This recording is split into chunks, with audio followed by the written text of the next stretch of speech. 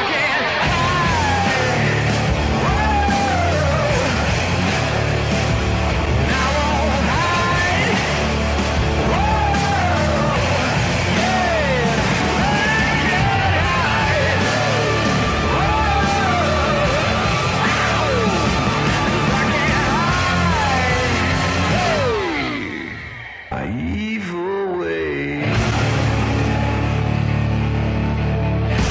W kolejnym odcinku z Call of Juarez Gunslinger i dzisiaj, nie wiem, który już to jest epizod i mam dzisiaj kolejną misję, która się nazywa Niezbyt udany napad na ekspres.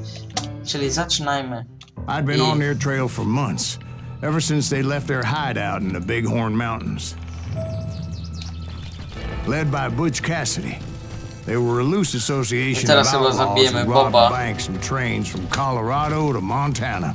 Among them was the Sundance Kid, and that murderous hombre I was tracking, Roscoe Bob Bryant. Were you a part of that giant Pinkerton posse after the Wild Bunch? No, boy. A circus like that would have slowed me down. Besides, I wanted Bryant all to myself. They blew the bridge with the intention of forcing the train to stop. I was determined to make that some bitch Bob pay for what he did to my brothers. Dobra, czekajcie, level wbiliśmy. Więc tutaj. Szybkie celowanie, szybkie. O, nice.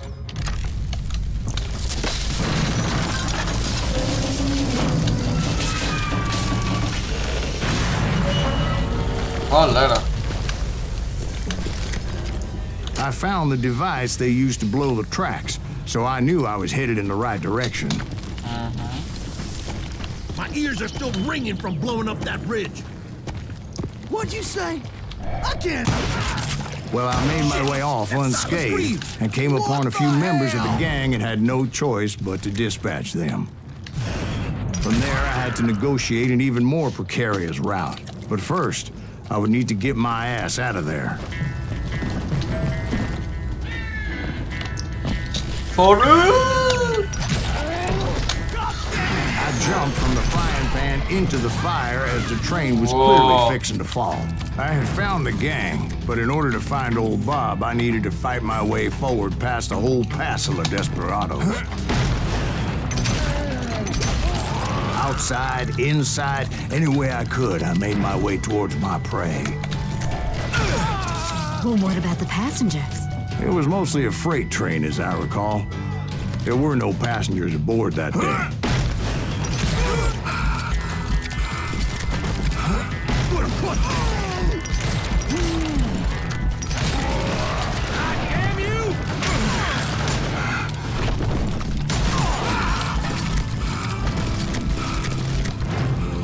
Jest. Uh, as Aha, I mentioned before, I am not fond of heights. But I was too busy dodging bullets to worry about falling to my death. Dobra, nie można. Odds were I was likely to die that day anyway. So I was determined to take down as many of those bastards as I could. To się nazywa być hardcorem, nie?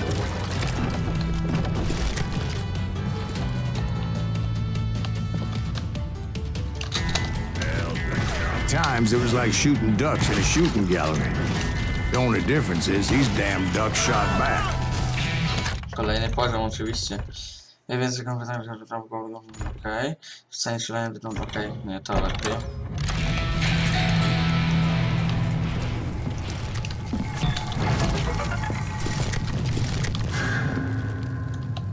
Okej, tutaj możemy taka już przejść. Widzę.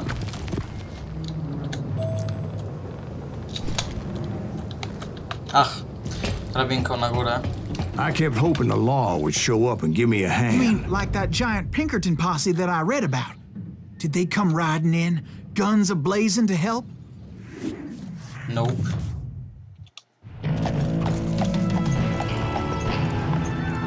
Chyba tak.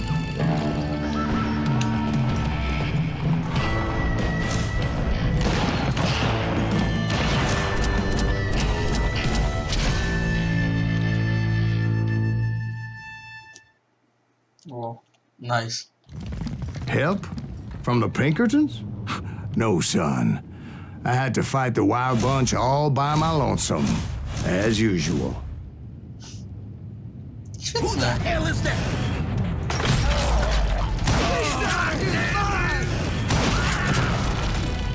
Cover! Retreat! Retreat! He's killing everybody! Ready to meet your maker. He'll kill us all! Ja nie chcę się spotkać z moim stwórcą. Nie, nie, nie. Do tych o tych lat. Nie potrzebuję.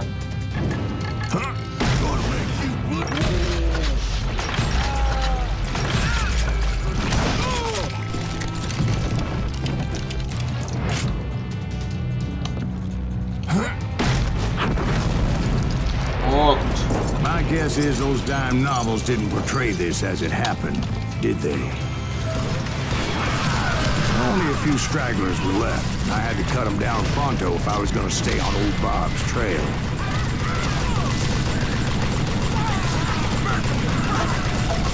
Oh, tak. What a lovely day.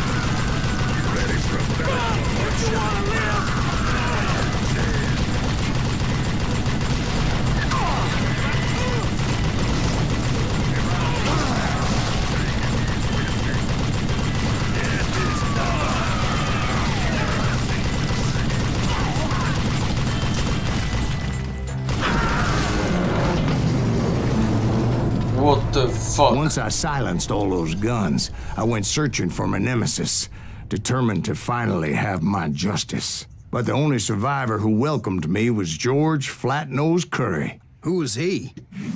the fastest gun in the gang. Right after Sundance, I mean. And Kid Curry, and maybe Elzy Lay. Though some folks might dispute that.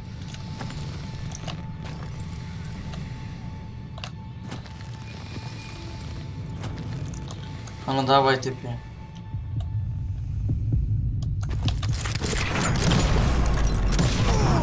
On that very same day, Butch Cassidy and the Sundance Kid decided to leave the Wild Bunch behind and decamp for South America. Tak kończą pizdy. Jest. They ended up living down there for many years, but I'm sure you already know all about that. O Jezus Maria, jak dobrze jest nagrywać całą serię w jeden dzień. Okej, więc dziękuję wam bardzo, jeżeli ci się zostawcie 35 łapek w górę, będzie kolejny odcinek mój dla Max, serdecznie i na razie.